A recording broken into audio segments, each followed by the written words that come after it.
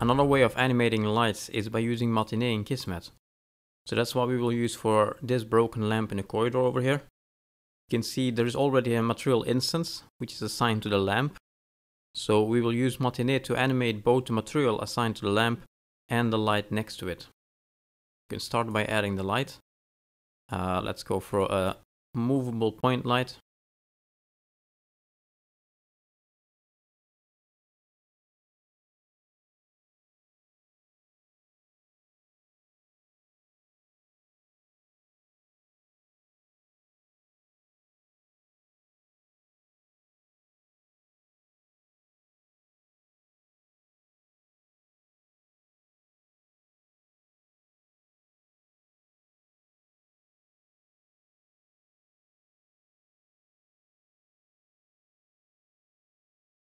Gonna bring falloff exponent down some in order to be able to use a smaller radius like this. Kinda works. Maybe a little bit bluer.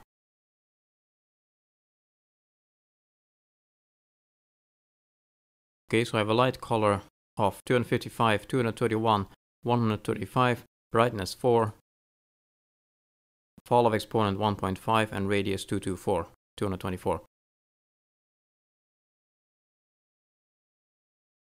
Then we need to know the name of the parameter used in the material. I'm going to look this up in the content browser.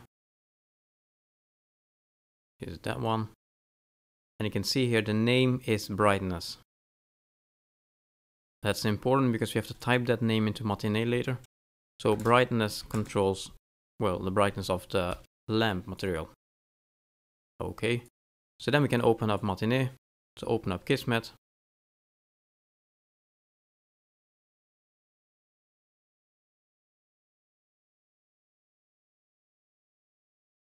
So there was a green key at the top here, Kismet. Then you get this window. You can see there's already two things in here. This is the Sisada flying around outside, the spaceship thingy. And uh, these are the two, two, two, the two doors. So anywhere near this, somewhere in the empty space, create another event level loaded. So as soon as the level starts.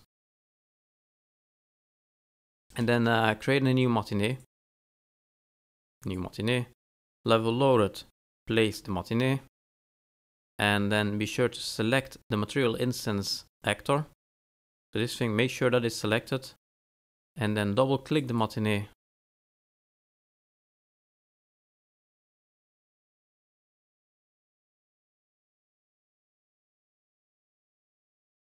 And uh, right click in the dark gray space over here, new empty group, Again, while you make the new empty group, make sure that the material instance actor is selected in the viewport. By having it selected and making a new group, you automatically assign it to the group, as you can see here. And then in that new group, create a um, float material param track. Param name what? Brightness. I type this with small letters, and then when I press enter, you can see it made uh, the B a capital letter. That for me is a sign that it found the parameter name inside the material instance. So I use that to verify that it found what I, what I meant.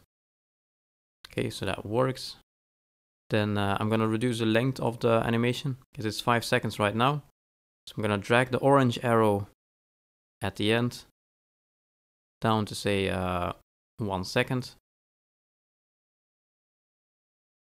And then I'm going to make two keys. One key in the beginning. And uh, actually three keys. One key in the middle about and one key at the end. So you make keys by moving the timeline to where you want to have it and then you press enter. Like so. So three keys one in the beginning one somewhere in the middle. It doesn't have to be exactly the middle. And uh, one at the end then you do the same thing for the light so you select the light, back to matinee, you make a new empty group while having the light selected. And then you go for a new float property track. So a new float property track. And then in the drop down menu, this box over here, you can choose brightness. You can also animate other things as you can see. You can animate the radius, etc. Falloff exponent uh, and some other ones. But we will go for brightness. And while we're at it, you don't have to do this, but you could could have also used a vector property track, which, uh, or sorry, a color property track, color property track, which would expose the light color to matinee. Okay, so we have the brightness property track in here, and then we will do the same thing. So you add a key in the beginning, key where the other key is, and key at the end.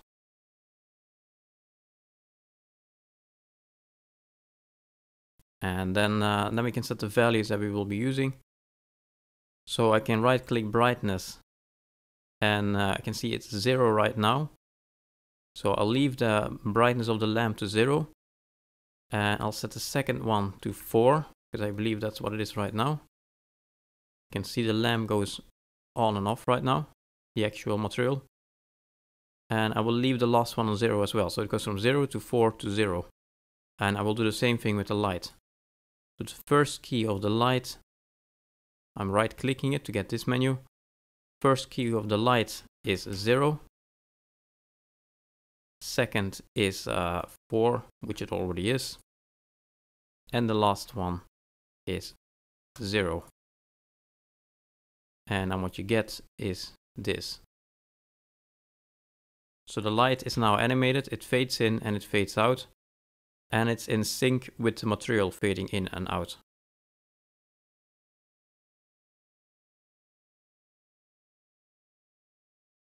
And then we will have this animation in game.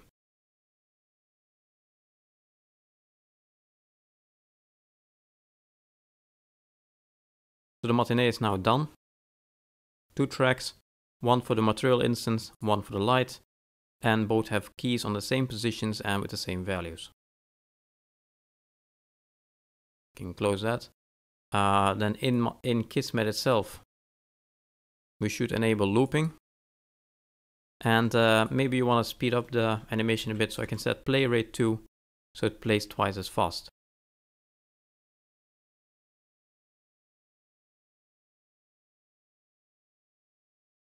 I'll save that and let's try to play.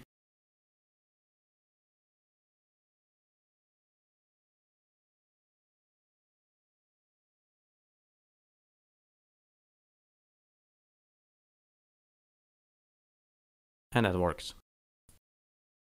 We should also optimize the settings for this light. So we will set uh, light channels for this light as well. We can use unnamed 2 for example. Again, it doesn't really matter which one. Actually, I'll keep uh, composite dynamic enabled. Otherwise it would not affect the weapon you're holding.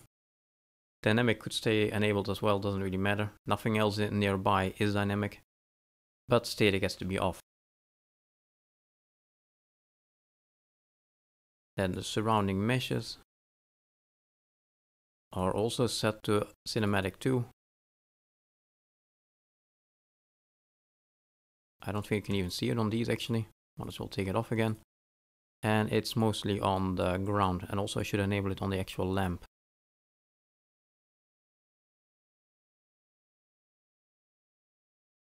The ground is uh, a brush. So as you can see when you select uh, the surface, no properties show up. So a brush is different.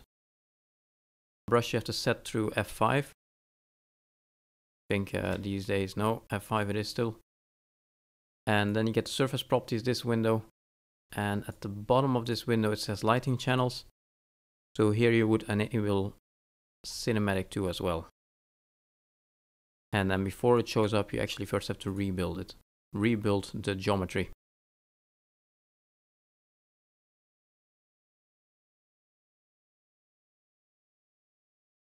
So that's set. Then we can set some of the other, uh, the dynamic lighting on the interpactors here. So first of all, we have two doors. We will leave these be. We might want to turn off uh, cast dynamic shadow. This is what I sometimes turn off. It's already turned off. But uh, the dynamic shadow of Interpact is sometimes a bit weird. You can see it here. It casts a very weird shadow over the ground. It breaks up in the middle. It doesn't always work well. So a lot of times I pr pretty much just disable all shadows entirely on doors, elevators, etc. Like so. And other than that, the, the two doors here, they rely on a light environment. You can see it's enabled with default settings. It's fine. I could turn off use boolean environment shadowing, but since it's already placed inside the in, in the shadow, you're not really going to see the difference. So this these two meshes I'll leave be with pretty much default settings. However, the door on the other side, over here, I think that's one that one is best to do with uh, light mapping because it doesn't really move. It doesn't move at all actually. It's not uh, hooked up in Kismet as you can see. It's just here to have an example to light map. So let's light map this one. Light map this one. Lighting, use pre-computed shadows enabled. Lighting channels, enable static, disable dynamic. And that's it. It's black right now, but if you were to rebuild it, it would look normal. Then the third case is per pixel dynamic lighting, so accurate dynamic lighting on, in, on an interpactor. And that we can do on the two pipes over here. So in the ceiling of the corridor, there's two long pipes. And these two pipes are interpactors, as you can see, they're purple. And they have a problem that if you were to place a light here at the end of it,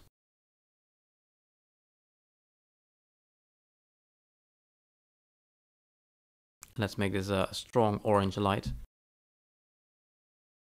Because what we want to have is that when you look up in the ceiling, you can see a, a nice strong orange light coming from the end of the corridor. And I'll make the radius longer.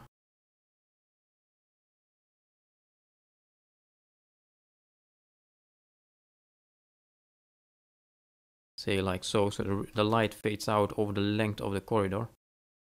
And then you can see it doesn't affect the pipes. The pipes don't lit up over here. So I'm gonna disable the light environment on these two pipes. And enable the dynamic lighting channel on this single light over here.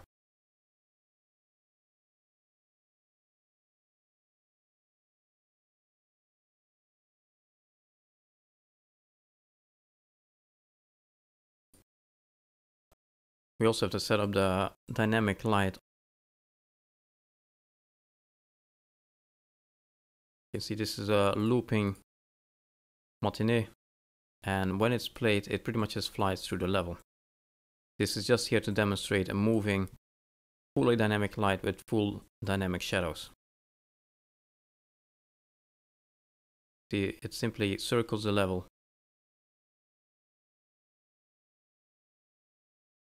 then flies back, and then it comes back again. That's it. This has a lamp attached to the front. See, there's an interpactor here that's attached to it. In attachment, it has base. It has a skeletal mesh actor set. It's hard attached through. And there's also a lens flare attached to it and placed in front of the lamp also the stewed particles at the end of it to create the trails.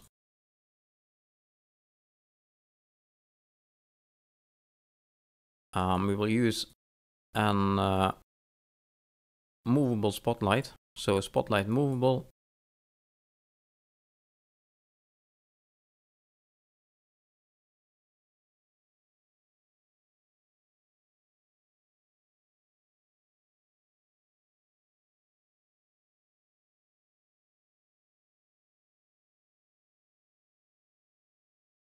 increase the radius. So it actually reaches the ground. Be quite a large radius.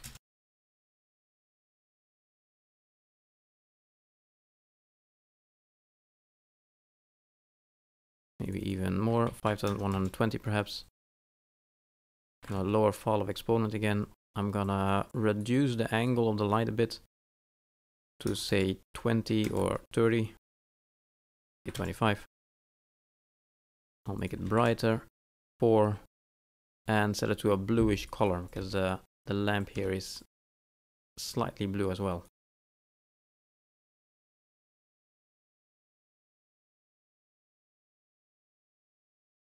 Like so. Uh, this still doesn't cast a shadow though.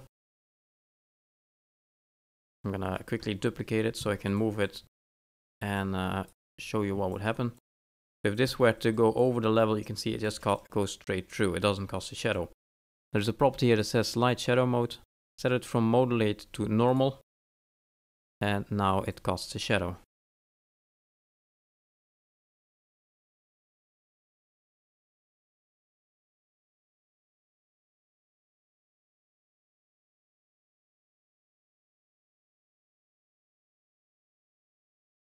It has to be attached so in the attachments section, I'm gonna lock the property panel, pressing that button. Then select the one it has to be attached to and press the green arrow. Make sure hard attach is enabled, which it is. And that should be it. Let's try the matinee.